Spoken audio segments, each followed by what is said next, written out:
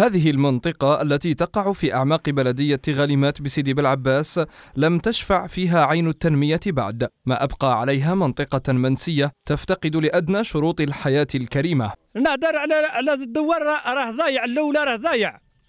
تيتورث ما كانش الطريق ما كانش ال transport ما كانش الضوء ما كانش لي كروس هذو ما كانش. رانا متخلطين غير إحنا والحيوانات.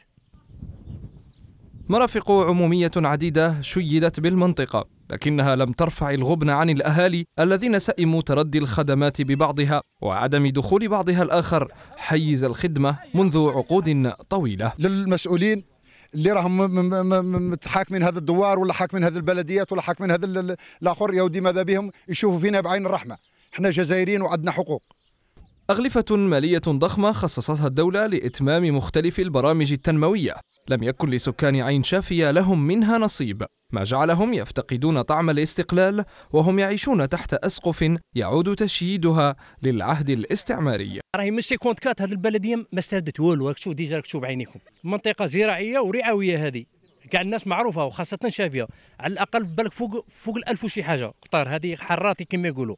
منطقة نجا أهلها من ويلات الإرهاب فسقطوا في مستنقع التهميش. طلبوا من السلطات المعنية على الأقل يشوفوا فيهم شوفة غير نظرة خفيفة.